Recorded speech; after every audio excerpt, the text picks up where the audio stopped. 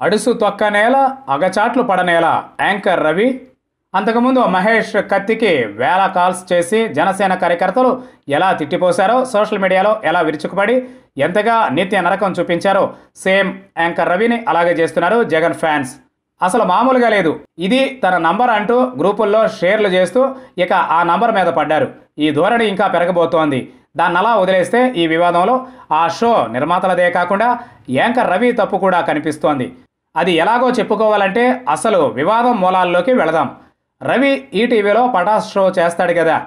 ఓ షోలో మహేదర్ అనే కంటెస్టెంట్ జగన్ గెలుపుపై ఓ సీరియస్ కామెంట్ చేశాడు. పైకి వ్యంగ్యంగా అనిపించినా సరే అది స్ట్రైట్గా జగన్కు ఓట్లేసిన వాళ్ళందరినీ అవమానించినట్లుగానే ఉంది. అది విన్న వెంటనే యాంకర్ రవి చప్పట్లు కొడుతూ ఆనందపడిపోయాడు. దీనిపైనే జగన్ ఫ్యాన్స్ భూతోపాఖ్యానం స్టార్ట్ చేశారు.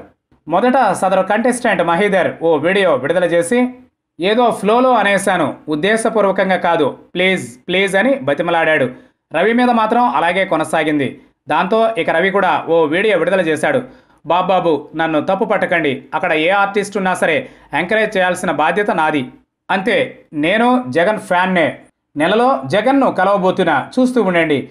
జగన్ కుటుంబ సభ్యులతో ఆల్రెడీ మాట్లాడేశా అంటూ వివాదం మీద నీళ్ళు జల్లే ప్రయత్నం చేశాడు. అవునా? జగన్ కుటుంబ సభ్యుల దాకా ఈ వివాదం తీసుకువెళ్ళి సెటిల్ చేసుకుంటున్నాడా? ఎవరు రవి? దీన్ని ఇక వదిలేయండి అంటూ జగన్ ఫ్యాన్స్కు చెప్పగలిగే కుటుంబ సభ్యులు. నిజానికి ఇక్కడ రెండు మూడు తప్పులున్నాయి. గతంలో మహేష్ కత్తి మీద జబర్దస్త్ షోలో హైపర్ ఆది ద్వారా పంచులు వేయించారు. అది అంత అవసరమా?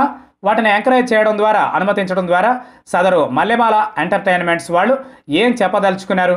దాన్ని వదిలేస్తే పటాస్ షోలో ఎవరో ఏదో ఓ వివాదాస్పద వ్యాఖ్య చేశాడు. అదేమీ లైవ్ కాదు కదా.